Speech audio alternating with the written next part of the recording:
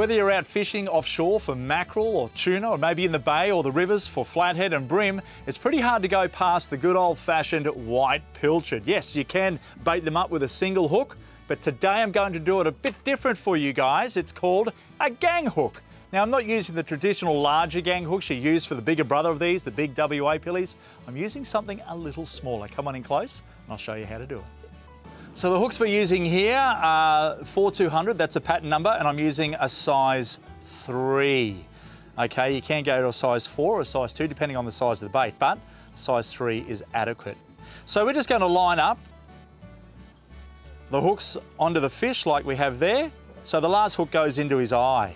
So remember where that first hook is, and that's down this end of town. We go halfway along that fish between the top and the bottom of him. You don't want to go too close to the bottom because it'll fall out and the top will rip out as well. The next hook goes in onto his backbone and the last hook should line up, you've got it, with his eye, just like so. A perfectly baited up white pilly ready to hit the drink. Looking good.